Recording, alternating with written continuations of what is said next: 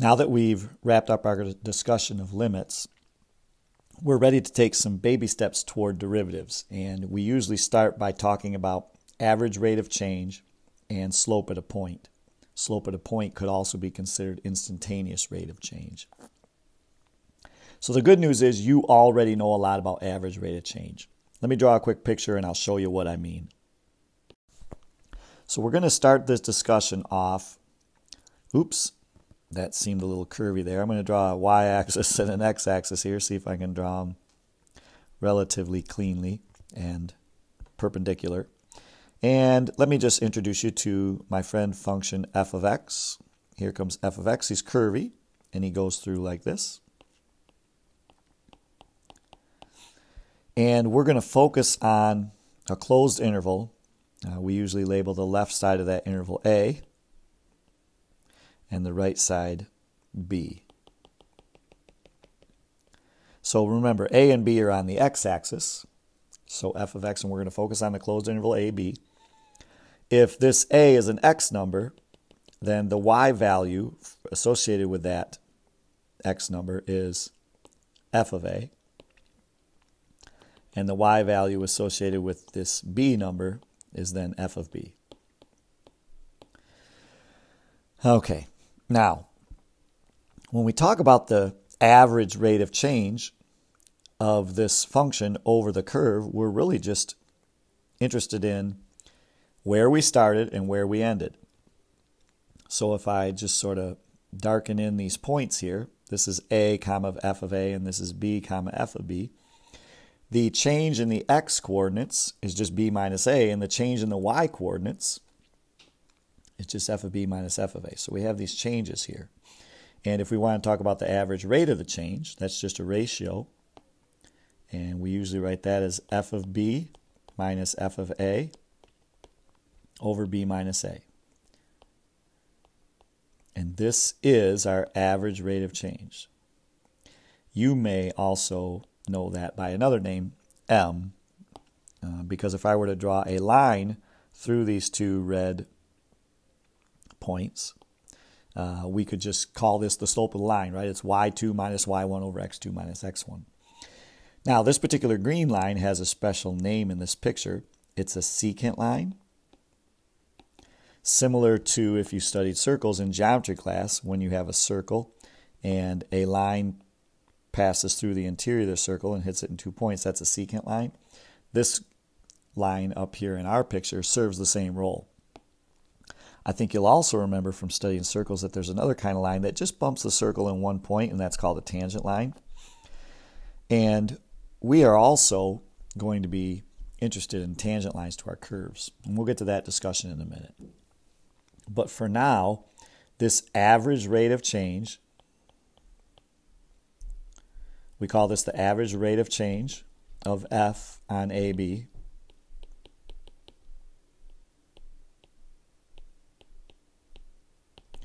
Is f of b minus f of a over b minus a. This is a famous formula. It's essentially just the slope formula that you learned in Algebra 1. But that's what we're going to use to compute average rate of change. Whenever somebody asks you about average rate of change, and the key word here is average, you're going to do this slope formula. There is another rate of change called instantaneous rate of change, and that is not the same as this. So when they say average rate of change, you use this formula. Okay, let's do a quick little example before we move on to a further discussion of instantaneous rate of change and slope at a point. So in this first example, we are asked to find the average rate of change. Remember, the average rate of change has a special, special meaning. For this function, f of x equals x cubed minus x on the interval ab, uh, 1, 3. So this is an interval, and they're basically telling us what a and b are. a is the 1, b is the 3. So if we're going to compute that average rate of change, and again, I'm just calling it m because that's pretty much what it is. It's the slope of the secant line. I'm going to do f of 3 minus f of 1 over 3 minus 1. And then we'll just plug the numbers in.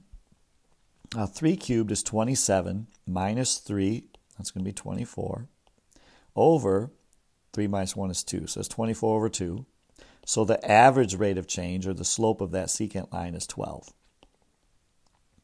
Now, obviously, this function is not the same one that I had in the picture because my slope didn't look anything like 12. 12 is pretty steep. But for this function on this interval, the average rate of change is 12.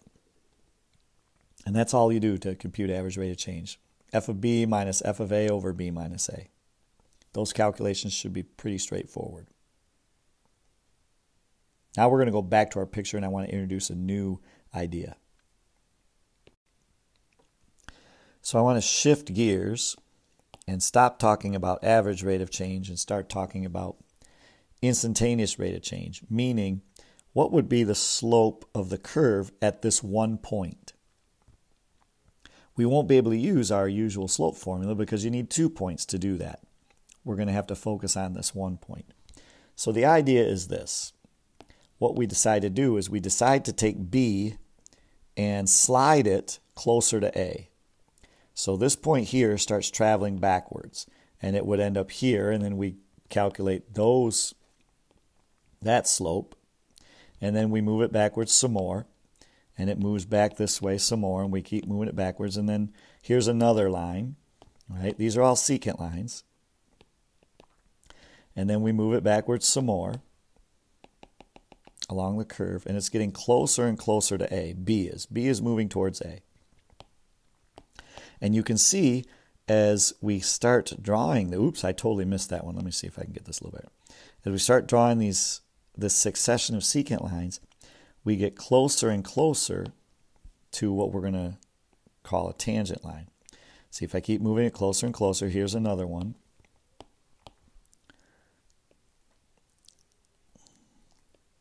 And ultimately, we move B right on top of A. So it moves there and it moves here. And that new line, which I'm going to make with red instead of green, when B is right on top of A, oops, this is a terrible drawing. Let's try this again. When B is right on top of A, I get a tangent line. It bumps up against that curve at one spot. Now I've destroyed this picture, so I'm going to start a new slide with a clean drawing so that we can just talk about that tangent line there.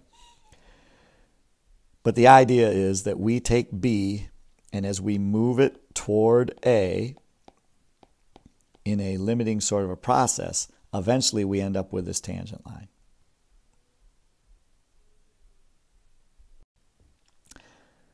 So as I said, I'm going to start with a, a, clean picture here because that one had a lot of junk on it. And I'm going to draw F a little different. Still F, it just, I'm going to pay more attention to where my dots are. So here's F. And we still have A. I'm just moving A over here a little bit so that my tangent line, and here's B. And let's put some dots on these coordinates here. And then you know this is f of A. And this is f of B.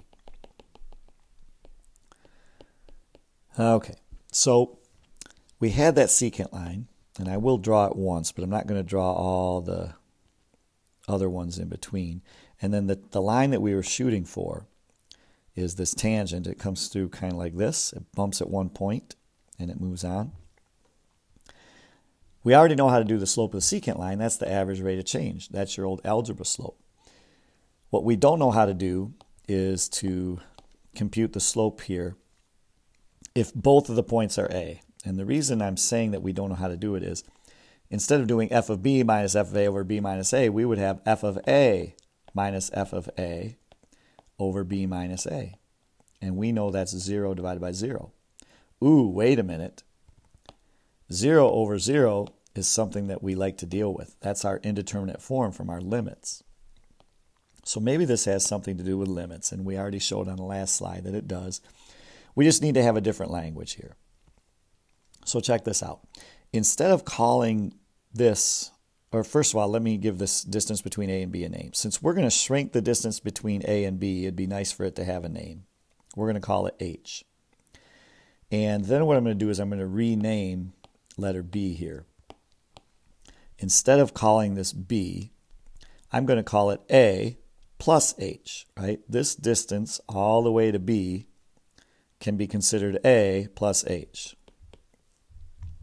And if this is a plus h, then this guy right here would be f of a plus h. And so we can write this formula for the secant line, the average rate of change, the slope there. Instead of f of b minus f of a over b minus a, we just simply replace the f of b with f of a plus h minus f of a, the same as it was before, over a plus h, because that's b, minus a. And this thing, after we simplify it, so I'm going to actually get the eraser out here. And do you agree that a plus h minus a is just h? So we can simply eliminate these. I'm going to rewrite the h so it looks a little bigger because that h is important. This thing that we just made here, it's still our average rate of change on the green line, but it also has a special name. This is called a difference quotient. Oh, my handwriting's terrible. Come on, baby. Let's write this a little neater, sorry.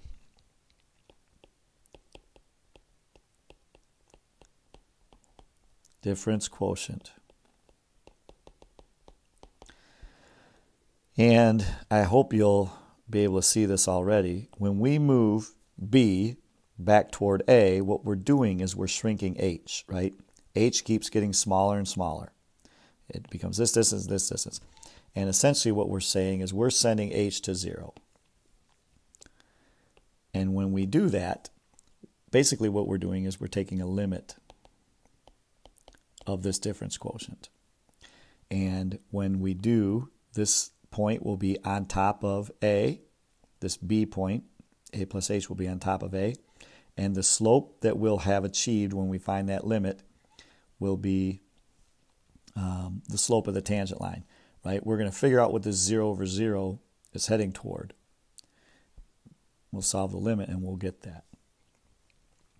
So the the green has a special name. That's the limit. Uh, that's the difference quotient. And when you take the limit, you're finding the slope of the tangent. Let me put this all together, and then we'll do an example. Okay, so a summary of what I was trying to explain on the last side is written here. What we're trying to do is establish the slope of a curve at just one point. So we write our difference quotient terms, in terms of A, where our b is actually a plus h, and then we send h to 0. And if we can compute this limit, we can get the slope of that curve at one point. We call it the slope of the tangent line. All right. Remember, this fancy thing here, this is called the difference quotient. Kind of a big deal because it's got its own name. And what we're trying to do is solve a limit. So I'll show you um, in practice how we do that in two steps. In the first step, on the next example, we are simply going to deal with this creature f of a plus h. And make sure you can deal with this composition because we're literally plugging in the expression a plus h into a function. And this is a place where students sometimes make mistakes, so I'm going to take it slow and show you how that works. Then I'll show you how to do the whole slope. And once we have a slope, we can write an equation of a line, which will be the last thing that we do. So we'll start with this example. We are simply going to compute two things. Um, for the given functions, we're going to figure out what f of a is, and then we're going to figure out what f of a plus h is in each of these. So I'll do f of a in red, and I'll do f of a plus h in blue, just to keep it separate. So let's start with f of a. If I'm plugging a into this function, all I have to do is put a where x is. So that's 1 over a. That's not bad. Now for f of a plus h, I'm going to put a plus h in that place where x is right there. So that's going to be 1 over a plus h. Just practicing plugging a plus h into a function because this thing shows up a lot in our difference quotient. Now in letter B, notice there's two x terms, and so we'll have to plug in our a and our a plus h in both those places. We'll do f of a in red. So here f of a is just going to be a squared minus 4x, or 4a, shoot. Sorry about that. We're simply plugging a into the function. And we'll split, switch to blue here. You have to be careful when you insert a binomial into a function. We're going to keep that as a quantity a plus h. So when I do x squared, I'm going to put a plus h in parentheses squared. And when I do minus 4x, I'm going to put a plus h in parentheses so that we distribute that negative 4 correctly. And then for this one, we should simplify it. So when you expand the binomial, you get a squared plus 2ah plus h squared. Then we're going to distribute this negative 4. And so that's minus 4a plus 4h, minus 4h.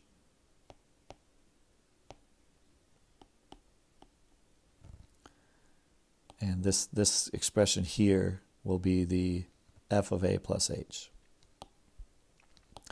And then finally, let's deal with this last one. We're going to have f of x equals the square root of 4x plus 1. We'll plug a in first in red.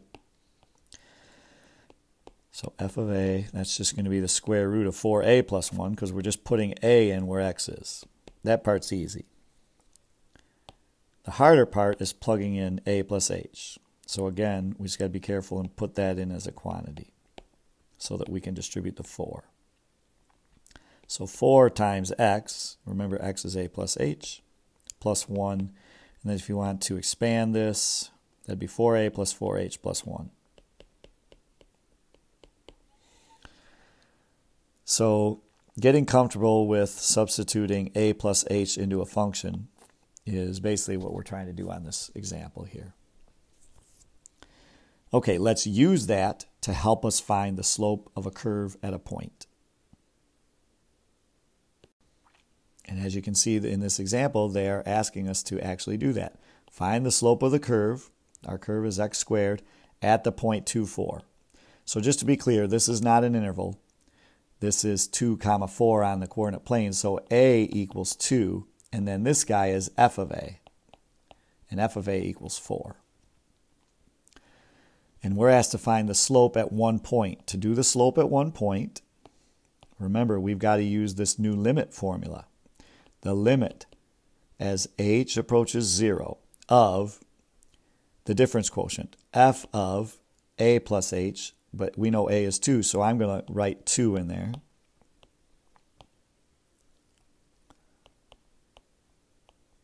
f of 2 plus h minus f of 2. And I'll write out f of 2 this time, but then we already know what f of 2 is. And then I put this over h. So this is the formula for computing the slope. We do the limit of the difference quotient. We know what a is, so I've put 2 in the place of a. And then we're going to go ahead and, and figure out what f of 2 plus h is by substituting that into this formula here. So f of 2 plus h is 2 plus h squared. And f of 2 we already know is 4. So I'm just going to write the 4 in right there. Oops, I forgot my limit notation. That is bad form. Come on, man. Uh, why isn't erasing? Hmm. It will not let me erase. So I'm going to have to take charge here. Um, I'm having a battle with my notes here. So this is the limit as h approaches 0 of 2 plus h squared minus 4 over h. Notice if I try and do this limit right now, I get 4 minus 4 over 0, which is 0 over 0. So it's still indeterminate. Uh, let's see if we can find the value of this limit, because we need that to find the slope. So I'm going to expand this binomial. That's going to be 4 plus 4h plus h squared. I just multiplied that out. And then there's a minus 4 still, and that's over h. Now notice these 4s are going to cancel. I got 4 and a minus 4, so those cancel. Also notice that I have a common factor in this 4h plus h squared. I can factor an h out. And if I do that, I have the limit as h approaches 0 of h times 4 plus h over h. And that is great news because I can cancel those h's. And now if I do substitution, I get 4 plus 0, which is 4. So the slope of this curve at 0.24 is 4. That's called the instantaneous rate of change. We figured out the rate of change of the curve at a single point on the curve. This is not the average rate of change. This is the slope of the curve at the point. It's the instantaneous rate of change. So you're going to use this limit formula, f of a plus h minus f of a over h as h goes to 0, to compute slopes of curves. It's the limit of the difference quotient as h goes to 0. Once you have the slope and you have a point, you can write an equation of a tangent line. Let's do that and we'll wrap the video up.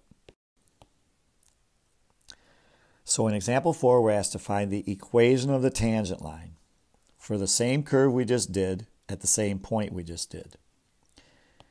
And from algebra class, you learned that if you know the slope and a point, that you can write the equation of a line. You use what we call the point slope form.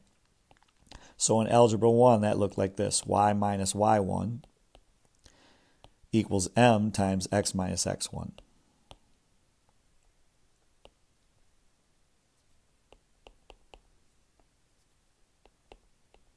And these green, blue, and red spots are just fill in the blanks.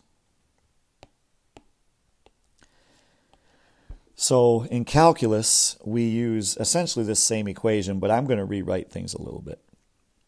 First of all, remember that we already said this guy is A and this is f of a. So I'm going to use those in this formula. The other thing I'm going to do is I'm going to add this y1 to the other side. So when I do that, I end up with y equals, instead of y1, we know that's f of a over here. So I'm going to call that f of a.